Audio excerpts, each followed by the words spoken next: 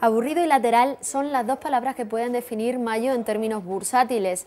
Por el momento no se está cumpliendo la máxima de vender y salir corriendo, pero tampoco hay indicios de que se esté dando lo contrario. José María Rodríguez, analista técnico de bolsamanía.com, nos da las cinco claves a tener en cuenta para estudiar el mes de mayo. La primera es que este mes está siendo tan aburrido que estamos en el IBEX 35 al mismo nivel en el que cerramos abril. La segunda es que comparado con el mes de mayo de 2013 hay que recalcar que las tres primeras semanas fueron igual de laterales.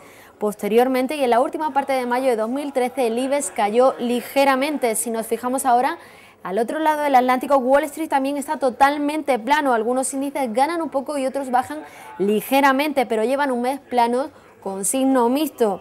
Si nos fijamos en los valores, Santander sube un 2% y Telefónica un 3,5%, pero la nota discordante la pone BBVA que está plano. Esto constata que tanto Santander y Telefónica están aguantando al mercado. Y por último, y en cuanto a los bancos medianos, todo lo contrario, Sabadell cae un 5%, mientras que Bankinter, con el fuerte rebote que está experimentando hoy, está plano. Popular, por su parte, se deja un 9%, CaixaBank pierde un 2,5% y Bankia se deja un 0%. Tras esto, José María Rodríguez señala que en general todo está muy parado como muerto.